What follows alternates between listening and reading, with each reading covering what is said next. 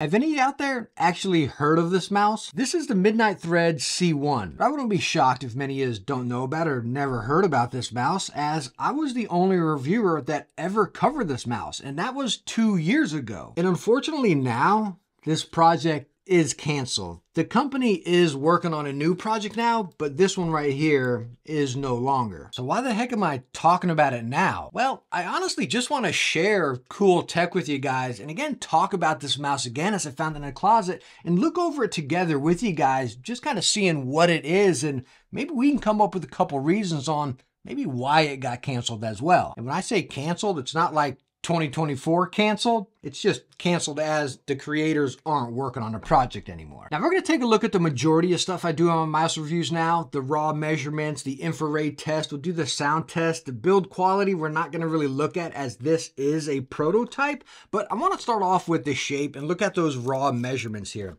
So let's go and take a look at the length of this mouse from the front to the back. There's the length. Here is our grip width right there in that midpoint. You can see the grip width. And now let's get that height from the mid to the sensor right up to the top right there. And you can see those dimensions. Now, if you want to see up at the front, you can see that right there.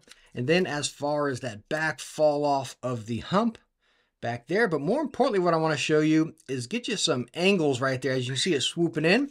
So if you're on this back butt end, you get those measurements right there. So if you look at that compared to the grip width we had before, but also up at the top, you can see it definitely dives in a bit right here.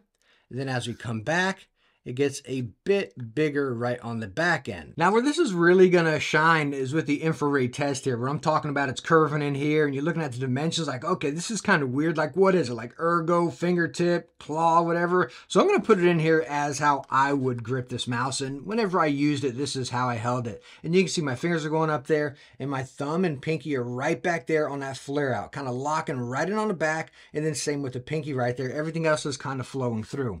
So if we pull this underneath underneath the heat signature camera here. I'm to let some heat transfer through and then see what we get. Hopefully we get a good signature here. So you can see pretty much back there, it's resting on and then rolling up to the front. Now I want to show you without my hand getting in the way. You can see right over there, coming into that side and then up to this side. So you see primarily it's on the back right there. But no, it's not palm. This is not in the back of my palm right here. It's my hand resting on it right up here on my knuckles and it dips off right behind my knuckles. Again, hopefully you can see that right there. My knuckles, bam, and that's where that slope's falling off. So the shape of this mouse, again, it's not an ergo, it's not an ambi, it's not a fingertip. It's kind of that mesh of all of them together. Of course, that always depends on the size of your hands and everything, but again, it was a true mesh. And whenever I used it, I felt myself very confused. Like, okay, do I want to grip it like this? Do I want to put my hand into it? Well, I can't palm it because it flares out on the back right there and kind of falls off. So it's not comfortable in the back. My hand is jabbing me in the back right there. So I caught myself using that kind of what we say relaxed claw. I don't even want to call it relaxed claw because again, it's swooping back there and it's just sitting in my hand. And I think that might be the first area where this mouse could have fallen short is the shape is unique, but maybe a little bit unique. There's going to be a handful of people out there and be like, man, that's my dream shape. That's what I need. That's going to fit me perfect. But I think for the majority of us, this to be like, I can't really jive with it. I need something that flows a little bit more. I want that ergo, I want that ambi, I want that smaller one. You kind of know what you want.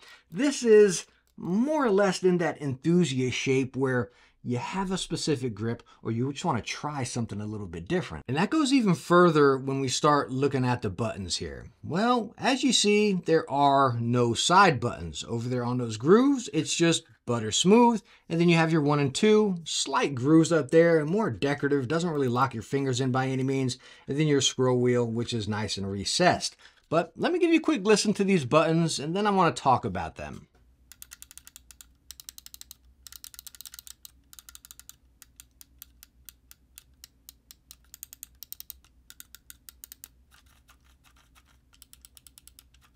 So as we just heard with those buttons right there, I mean, they're solid. You got that slight click in there, but it's kind of muted because it goes right down. These buttons bottom out. There's no give. There's no play left to right. There's no mushiness in there. They click and they go down. But yes, they do feel firm, but that's not the switches in there. That's this carbon fiber because again, it's one complete shell. It's going from up here. It's just sliced right there. So you got that tension up here and that tension plays into the lower part of the button. So if you were one to hold your mouse up here and press there, they are even firmer. The only way to really, for me at least, to press these was if I put my fingers up towards the front where they gave a little bit of give. Towards the back, again, the tension was so darn tight. And of course, the other controversial issue that could have made this mouse fall off is the lack of side buttons. I know there's people out there, again, that won't use side buttons. Say, I don't need side buttons, you know? But for I think the majority of us, as we see in the market, every mouse has side buttons. I think that's a big missed opportunity here and would have shied a lot of people away from it. Myself, playing a lot of Destiny, um, the first Descendants now, my goodness, I'm hooked on that.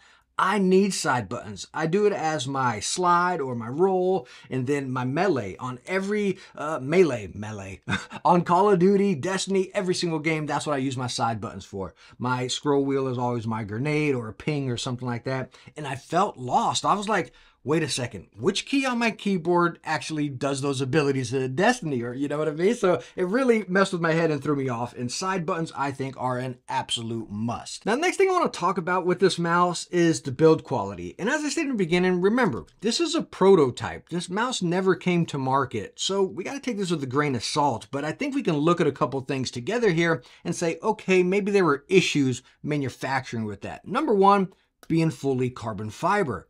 As you see, it's one shell piece going all the way around, slices up in a button. So you can see, number one, carbon fiber costs money, but making this one complete shell, I'm sure that was a manufacturer nightmare. You know what I mean? So again, and you're talking back in COVID times when stuff started costing more, so I'm sure that played into well here.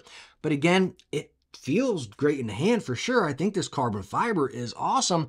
But when you come underneath the mouse, this is where it really starts to fall apart. And I want to show you right here. So number one, you see the feet, you see the carbon fiber, and it's coming down flush with the mouse. It doesn't curl in like another mouse. I don't know if I have one right here. I got that new Logitech G309. Anyways, every other mouse, again, you got your shell, and then it kind of swoops up a little bit right there. So your feet are down there, and your shell's not scraping on the bottom. When you use this one, again, it's just, I mean, you can hear it. That is the side scraping along that. So I think, again, some issues. How would that carbon fiber be able to go up and roll the shell up around to that carbon fiber so it's not sitting flush on there? Any kind of mouse pad, it's just going to sink in.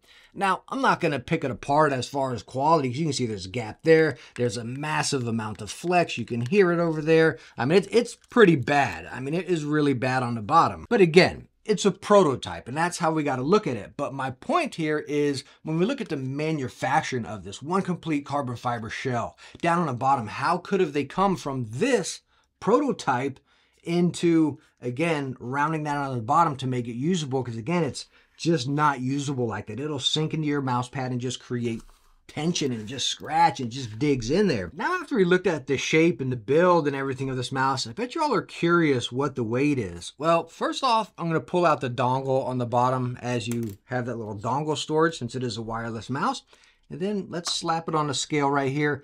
We are getting right at 48 grams. So you're talking 48 grams two years ago with no holes besides on the bottom, which again is an area we think should have been improved.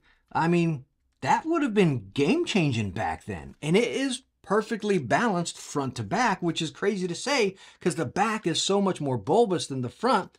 They did a great job with that. But unfortunately, I really can't sit here and talk about performance because I just couldn't use this mouse. The shape I could look past and again force myself into a specific grip. Okay, I can get down with that to test a product. It tests so many mice that I can really adjust my grip and be perfectly fine. But the lack of side buttons, threw me for a massive loop.